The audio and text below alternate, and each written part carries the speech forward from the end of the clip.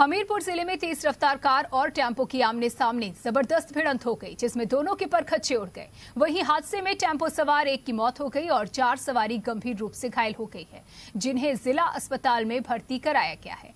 आपको बता दें कि ये हादसा सुमेरपुर के इलाके का है। सुमेरपुर थाना क्षेत्र के टेड़ा गाँव के मोड़ पर हुआ।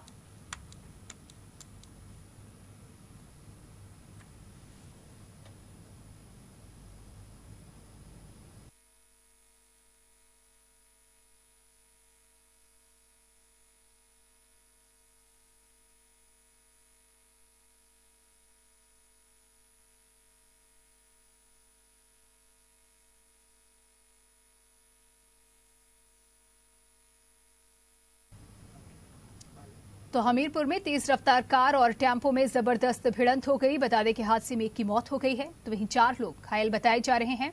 सुमीरपुर थाना क्षेत्र के टेड़ा गाँव का ये मामला है, जहाँ तेज रफ्तार कार और टेंपो में ज़बरदस्त भिड़ंत हुई।